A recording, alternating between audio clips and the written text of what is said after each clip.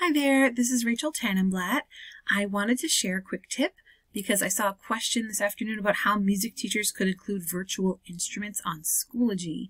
And I actually just discovered something that's pretty neat that you can do with Schoology assessments this week. And so I created an assessment that's going to include virtual instruments for my students to play. So I want to show you how I did that. I'm going to be using Scratch for my virtual instrument. If you've never seen Scratch before, they are user-created projects, and so there's plenty that music teachers have created. I have never coded a Scratch project before, so shout out to the teachers who have done this. Thank you for your work. Um, the one that I chose for this assignment is this Orff xylophone. So thank you to Mrs. W Music for making this project. I like this one specifically because it's a simple diatonic scale, which is perfect for what I need not too much to overwhelm my students.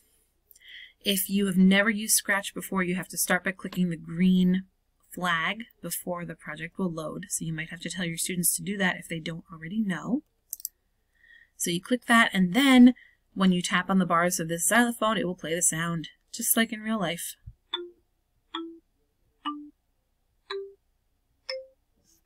So if I want to include this on Schoology, what I'm going to do is grab the embed code. So you go down to where it says copy link, and then you're going to see the HTML code that you can embed into Schoology. So when you click on the copy button, it will automatically copy this to your clipboard. Now I'm going to show you on Schoology how you can include that. So I already started setting up this assessment and I added a video question.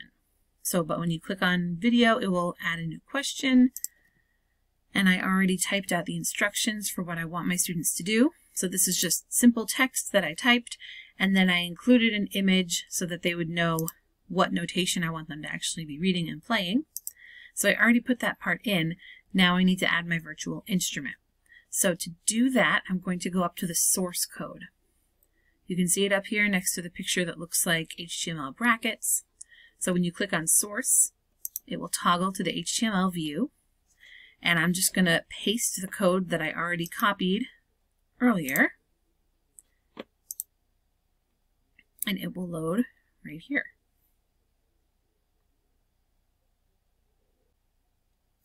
Okay, so now I'm going to show you a student view of what this is going to look like.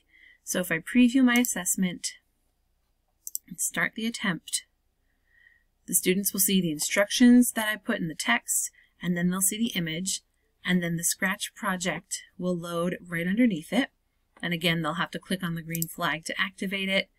And then the recorder will be at the very bottom. So what I will ask my students to do is to start by clicking the record button, and then they'll get a 3, 2, 1 countdown, and it'll confirm that they're actually recording, and then scroll back up to the top of the page so that they can sing and play and do all of that, and it will get recorded into their video and then make sure that the students know that at the very end they have to click on the review and submit so that they can turn their video into you when they're done. I hope this is helpful and that you're able to use this with students. I'm really looking forward to getting to see and hear my students playing virtual instruments just as if we were together in a physical classroom.